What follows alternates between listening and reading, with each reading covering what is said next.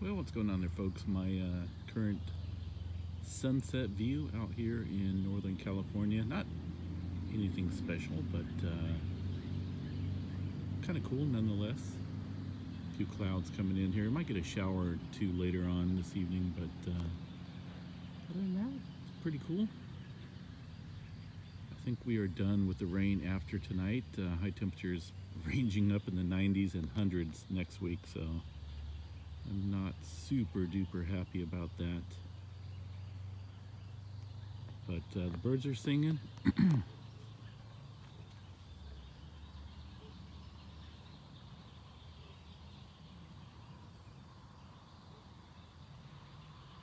birds are singing and uh, all the trees are happy.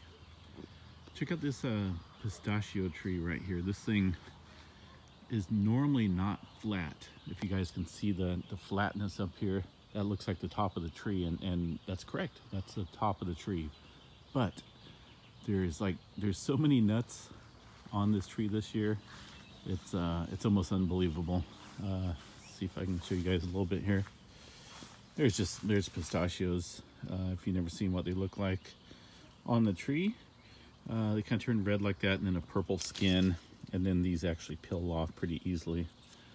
But uh, there's definitely a bunch. I think all the rain had something to do with uh, with the weight of these branches just dragging down. I mean, it's just normally not like this, so I'm kind of surprised to see this poor tree uh, this heavy. I guess I should probably trim it up a little bit. I don't know.